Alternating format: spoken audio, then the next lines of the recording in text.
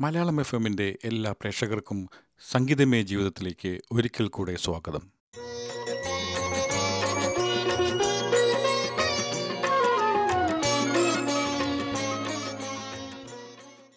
പ്രയാണങ്ങൾ ലക്ഷ്യത്തോടെയാകുമ്പോൾ അത് അനുഭവയോഗ്യമാകുന്നു. യാത്രകൾ ഒളിച്ചോട്ടമല്ലാതെയാകുമ്പോൾ അത് സന്തോഷകരമാകുന്നു. മദ്രാസ് മെയിലിലെ എന്റെ ആദ്യ യാത്ര. എസ് സിക്സ് കമ്പാർട്ട്മെന്റിൽ എപ്പോഴും നിറയെ യാത്രക്കാരുണ്ടാകും. ഭൂരിഭാഗവും എറണാകുളം തൃശ്ശൂർ ജില്ലയിൽ നിന്നുള്ള വർഷങ്ങളായി മദ്രാസിൽ താമസിക്കുന്നവരും എന്നെപ്പോലെ ആദ്യമായി മദ്രാശിയിൽ പോകുന്നവരും. തൃശ്ശൂരിൽ നിന്നും ഏകദേശം പത്ത് മണിക്കൂർ യാത്രയാണ് മദ്രാസിലേക്ക്. ഇന്നത്തെ പോലെ തന്നെ അന്നും യാത്രകളിൽ വായനയോ പാട്ട് കേൾക്കലോ തന്നെയാണ് എന്റെ ഇഷ്ടവിനോദം.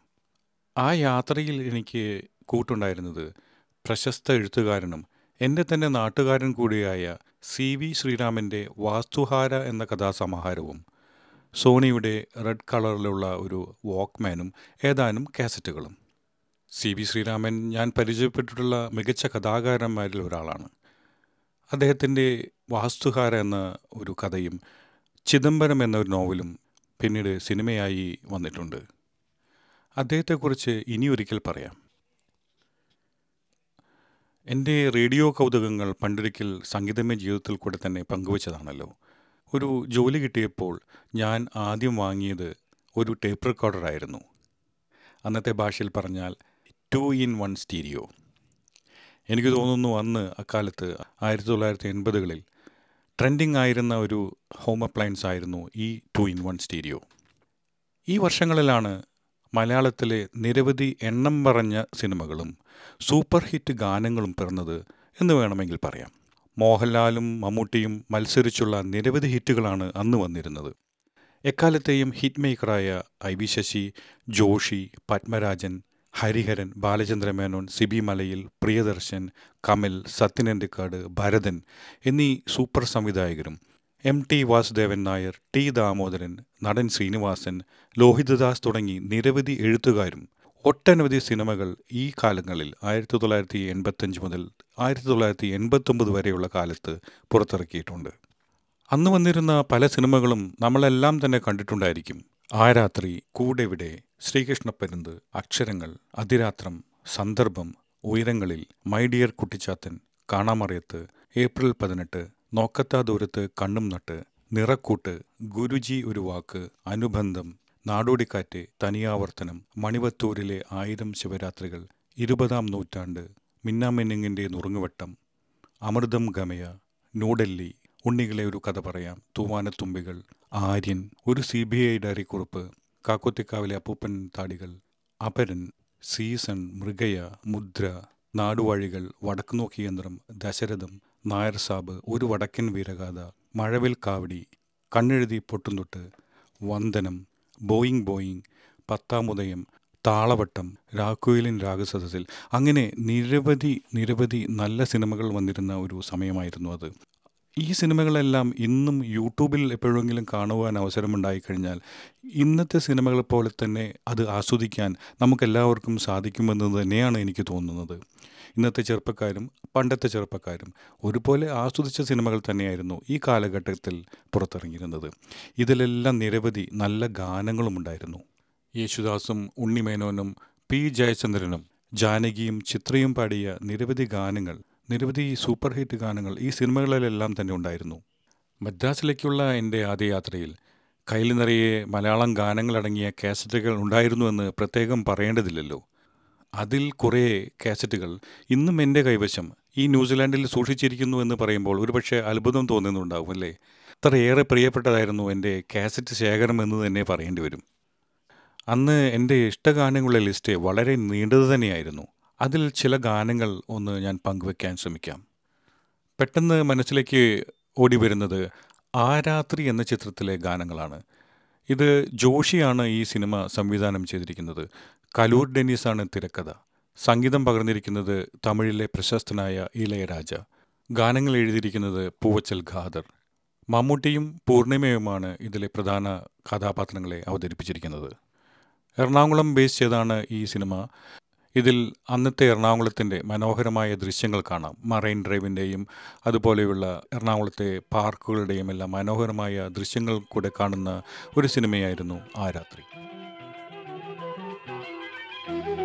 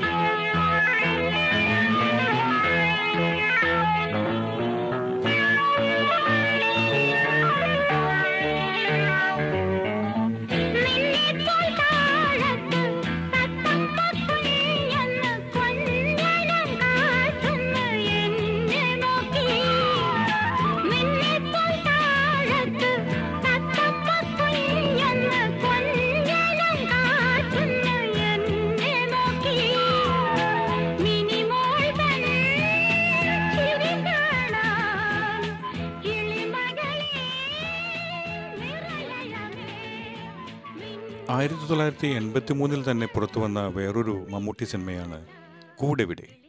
പ്രശസ്ത കഥാകാരനും സംവിധായകനുമായ പത്മരാജന്റെ സിനിമയാണ് കൂടെവിടെ. മമ്മൂട്ടിയോടുകൂടി സുഹാസിനിയും പിന്നെ നമ്മുടെ റഹ്മാനും അഭിനയിച്ച സിനിമയാണ് കൂടെവിടെ. തമിഴിലെ പ്രശസ്തമായ മൂൺകിൽ പൂക്കൾ എന്ന നോവലിനെ ആസ്പദമാക്കിയാണ് പത്മരാജൻ ഈ ചിത്രത്തിന്റെ തിരക്കഥ രചിച്ചത്. ഊട്ടിയിലെ ഒരു പ്രശസ്ത ബോർഡിംഗ് സ്കൂളിലെ അധ്യാപികയാണ് സുഹാസിനി അവതരിപ്പിക്കുന്ന ആലീസ്. സേവ്യ പൂത്തൂരാൻ എന്ന പാർലമെന്റ് അംഗത്തിന്റെ അച്ചടക്കമില്ലാത്ത മകനായ രവി പൂത്തൂരാൻ ആ സ്കൂളിൽ ചേരുന്നു. രവിയെ ഒരു നല്ല വിദ്യാർത്ഥിയായി മാറ്റിയെടുക്കാൻ ആലീസ് ശ്രമിക്കുകയും അതിൽ ആലീസ് ഒരു പരിധിവരയ്ക്കും വിജയിക്കുകയും ചെയ്യുന്നു. രവിയുടെ മേൽ ആലീസ് വളരെയധികം ശ്രദ്ധ ചെലുത്തുന്നത് ആലീസിന്റെ കാമുകനായ ക്യാപ്റ്റൻ തോമസ് മമ്മൂട്ടിയുടെ കഥാപാത്രത്തെ അസ്വസ്ഥനാക്കുന്നു. രവിയെ ഫോളോ ചെയ്യുമ്പോൾ മനഃപൂർവമല്ലെങ്കിലും തോമസിന്റെ ജീപ്പിടിച്ച് രവി കൊല്ലപ്പെടുന്നു. തോമസ് പിന്നീട് പോലീസിന് കീഴടങ്ങുന്നതോടെ ആലീസ് ജീവിതത്തിൽ ഒറ്റപ്പെട്ടു പോകുന്നു. സുഹാസിനുടെ അഭിനയ ജീവിതത്തിലെ ഏറ്റവും ശ്രദ്ധേയമായ വേഷങ്ങളിൽ ഒന്ന് തന്നെയാണ് കൂടെ ഇവിടെ തെന്നിന്ത്യൻ നടനായ റഹ്മാൻ അഭിനയിച്ച ആദ്യ ചലച്ചിത്രമാണ് ഈ സിനിമ. ഒ എൻ വി കുറിപ്പിന്റെ രണ്ട് ഗാനങ്ങൾക്ക് ജോൺസൺ സംഗീതം കൊടുത്തിരിക്കുന്നു. പാടിയിരിക്കുന്നത് എസ് ജാനകി. ഊട്ടിയുടെ മനോഹരമായ ദൃശ്യങ്ങൾ ചിത്രീകരിക്കുന്നതാണ് ഈ രണ്ട് ഗാനങ്ങളും.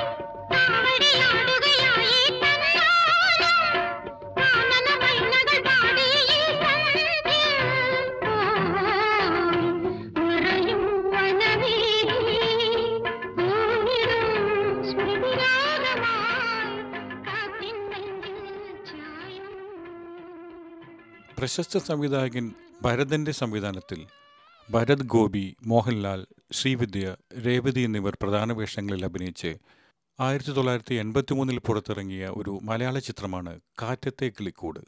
ഈ സിനിമയുടെ കഥ എഴുതിയിരിക്കുന്നത് നമ്മുടെ നടൻ നെടുമുടി വേണുവാണ്. തിരക്കഥ സംഭാഷണം എന്നിവ നിർവഹിച്ചത് പ്രശസ്ത തിരക്കഥാകൃത്ത് ടി ദാമോദരൻ.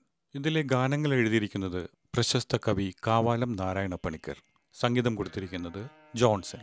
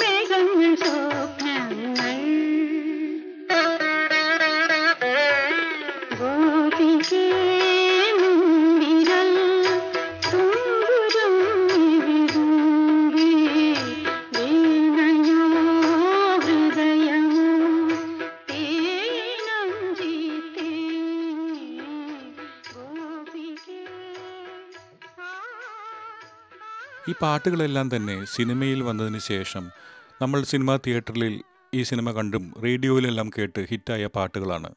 ആയിടെ ഹിറ്റായ വേറെ കുറച്ച് പാട്ടുകളുണ്ട്.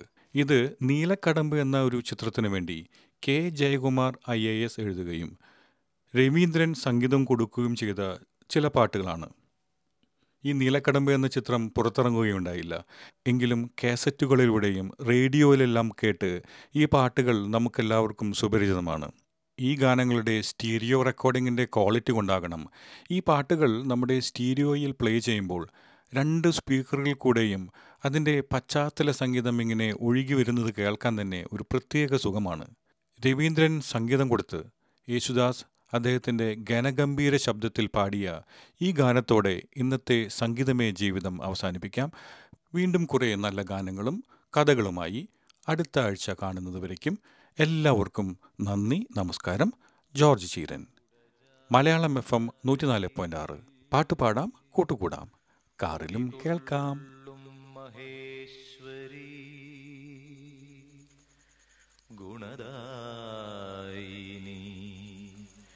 सर्वशुभकारिणी।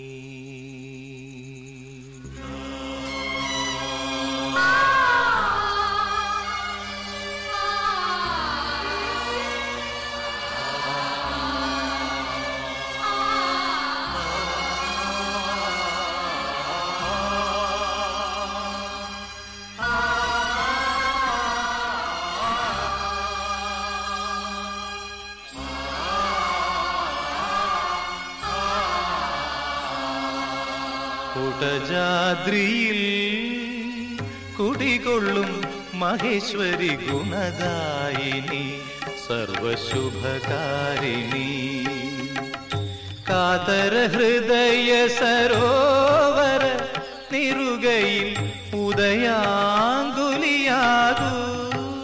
മംഗളമന്ദസ്മിതം തൂകൂ. കുടജാദ്രിയിൽ കുടികൊള്ളും മഹേശ്വരി ഗുണദായിനി സർവശുഭകാരിണി.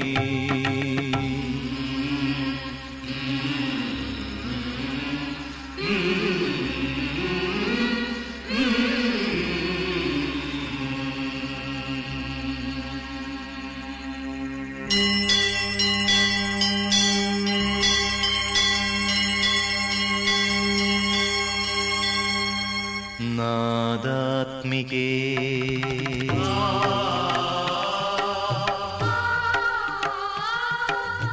मूकांबिके।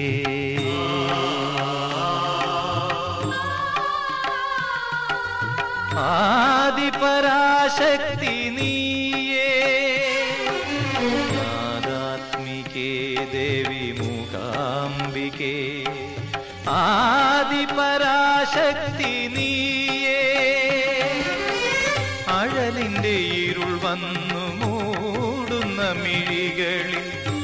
നിറകതിർ നീ ചൊരിയൂ. ജീവനിൽ സൂര്യോദയം തീർക്കൂ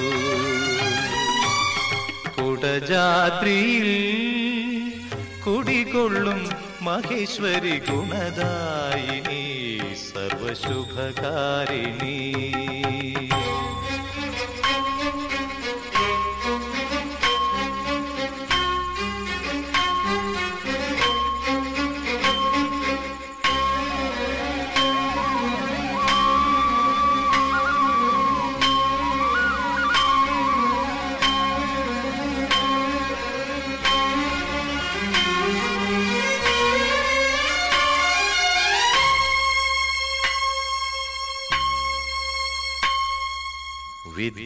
വിദ്യാവിലാസിനി വരവർണ്ണിനി ശിവകാമേശ്വരി ജനനി വിദ്യാവിലാസിനി വരവർണിനി ശിവകാമേശ്വരി ജനനി ഒരു ദുഃഖബിന്ദുവായി മാറുന്ന ജീവിതം കരുണാമയമാക്കൂ ഹൃദയം സൗപർണികയാക്കൂ. കുടജാദ്രിയിൽ കുടികൊള്ളും മഹേശ്വരി ഗുണദായിനി സർവശുഭകാരിണി. നിങ്ങൾ ഇതുവരെ മലയാളം എഫ് എം നൂറ്റിനാല് പോയിന്റ് ആറിൽ കേട്ടത് സംഗീതാധിഷ്ഠിത പരിപാടി സംഗീതമേ ജീവിതം. അവതരിപ്പിച്ചത് ജോർജ് ചീരൻ.